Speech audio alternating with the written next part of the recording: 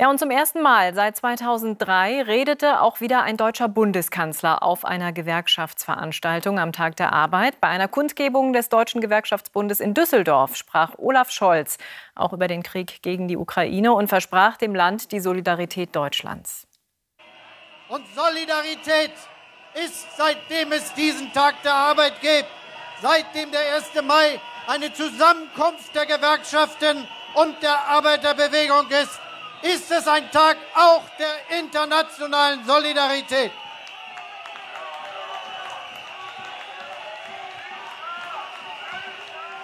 Denn das wissen wir. Das wissen wir nur, wenn wir in der Welt zusammenhalten. Nur wenn wir gemeinsam kämpfen für Demokratie und Freiheit und den Frieden, nur dann werden wir in dieser Welt erfolgreich und gut zusammenleben können. Und darum ist es heute und darum ist es auch hier ganz klar, wir, die Menschen, die sich für die Rechte der Arbeitnehmerinnen und Arbeitnehmer und für die Demokratie einsetzen, wir sind solidarisch mit den Bürgern und der Bürgern der Ukraine, die ihr eigenes Land verteidigen.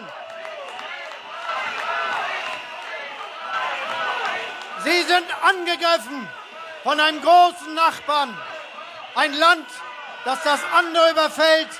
Russland hat in der Ukraine nichts zu suchen. Ich fordere den russischen Präsidenten auf, lassen Sie die Waffen schweigen, ziehen Sie Ihre Truppen zurück, respektieren Sie die Souveränität und die Unabhängigkeit der Ukraine. Und das wissen wir auch, dass es in dieser Situation immer darauf ankommt, dass wir alles dafür tun, dass die Prinzipien des Friedens und des Rechts, für die wir uns in Europa so sehr eingesetzt haben, auch weiter gelten. Es kann nicht angehen, dass da einige daherkommen, sich die Geschichtsbücher angucken und schauen, wo früher Grenzen waren und dann mit militärischer Gewalt versuchen, Grenzen zu verschieben. Das ist Imperialismus. Das wollen wir in Europa nicht haben. Und aus diesem Grunde, aus diesem Grunde ist es auch ganz klar, wir werden die Ukraine weiter unterstützen. Mit Geld, mit humanitärer Hilfe. Aber auch das muss gesagt werden. Wir werden sie unterstützen, dass sie sich verteidigen kann mit Waffenlieferung, wie viele andere Länder in Europa das auch machen. Das ist jetzt notwendig.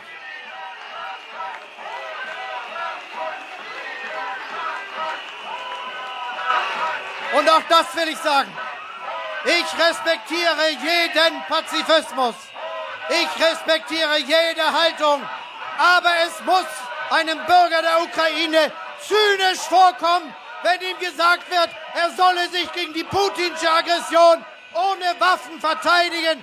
Das ist aus der Zeit gefallen.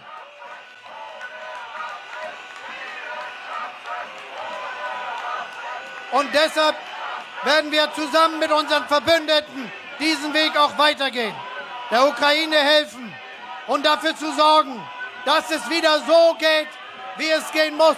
Dass man miteinander achtet, dass die Grenzen nicht verletzt werden, dass jedes Land seine eigene Entwicklung bestimmen kann.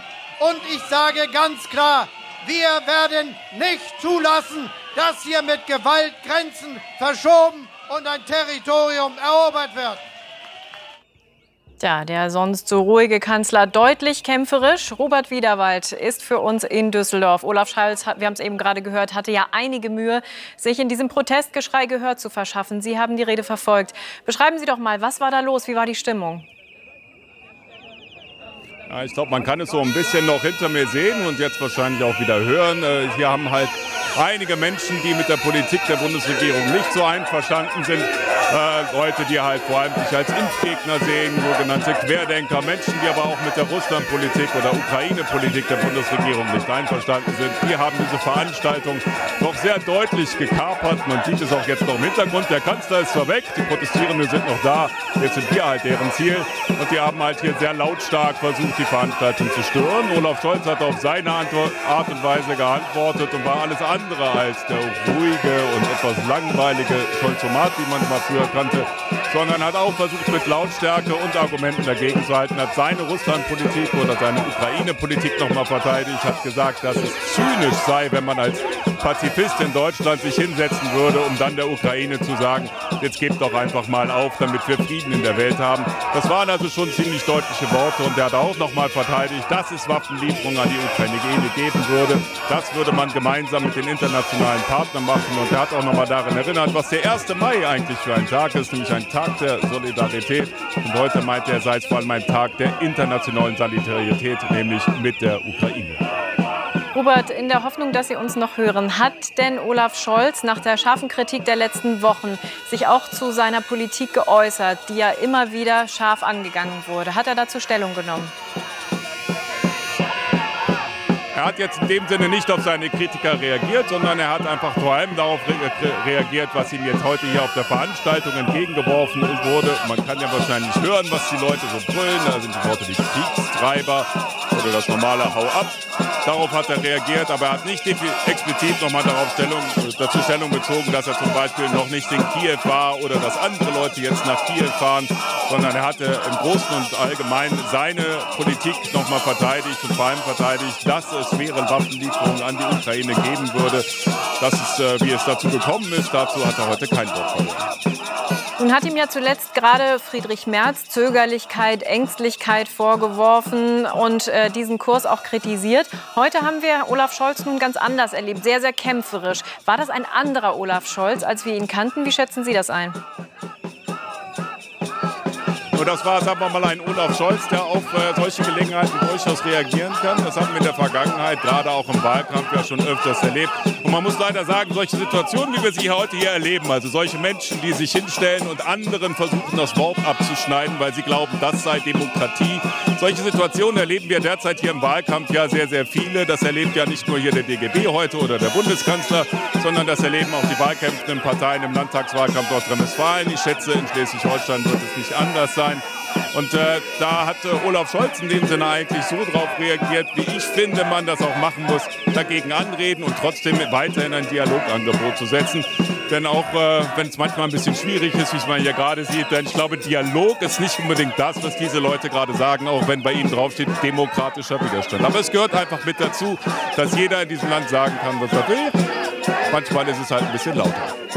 Nun ist es ja in diesem äh, Jahr eine ganz besondere Situation. Die Ukraine ist das bestimmende Thema. Aber traditionell geht es natürlich bei den Kundgebungen am 1. Mai auch um Löhne, um Mindestlohn, um Mieten und so weiter.